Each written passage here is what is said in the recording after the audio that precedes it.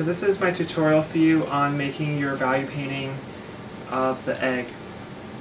So let's just review the, the panel. The panel was a piece of masonite. The other tutorial shows you how to prepare it properly for this painting. Three coats of acrylic gesso and then a stain created from titanium white and ivory black oil paint that was liquefied to quite a liquid um, state with odorless mineral spirits uh, brushed onto the panel and then um, smoothed out with a clean rag.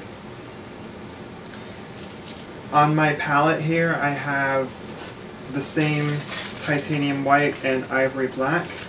First of all, you'll notice that on my palette right now I have all my other colors covered up with aluminium foil that is a great trick and something which you should really employ. You can use aluminium or you can use cling wrap. Um, you can also, if you have a palette um, at home, you can actually put your palette into the freezer and that will help to keep your oil paint from skinning over. The way oil paint dries, if we haven't covered this, I, am making these videos very far in advance, so I don't know if we're gonna, what we're going to cover or what we've covered up to this point. But the way that oil paint dries is that it oxidizes from the outside in, inwards. So um, even if your oil paint does become hard on the outside, you can use a palette knife to remove the skin and get to the good paint that's still on the inside. Um, so a couple of notes since this is the first video demonstration. Uh, I'm going to be using some different types of shapes of brushes. Uh, I have round brushes. This is a number 10 round brush, which I'm going to use as my drawing brush. And then I have some flat brushes. We have a number 8 and a number 6 flat brush. Throughout the course, I'm also going to cover with you um, the different shapes of brushes and what they're used for. So you have round brushes, uh, flat brushes, filberts, cat's tongue, and fan brushes. So um, the bulk of the drawing for the, the painting I'm going to do with the round brush and then when I start applying the materials I'm going to start using my flats. The, our goal for this painting is not to be experimenting with brush strokes and brush marks. I want everything to be very smooth and um, just to really experience working with the paint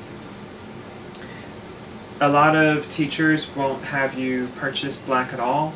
Um, my suggestion to you has been to purchase a tube of black between like three or four of you because you're not going to use it much after we move on from value.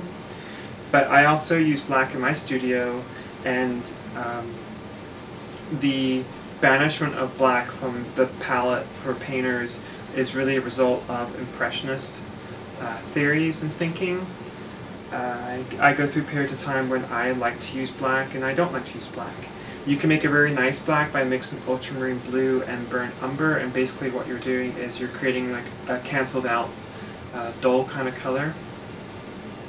Um, but you know, Frans Hals used a lot of black and if it was okay for Frans Hals, I'm going to say it's okay for me too.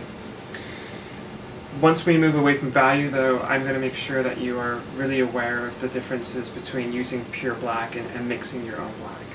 So if you haven't done so, you should go watch the beginning of the egg drawing tutorial because it talks about the purpose of using an egg as an introductory form. And um, the same thinking for me applies here with the painting. So um, let's get set up to do some painting.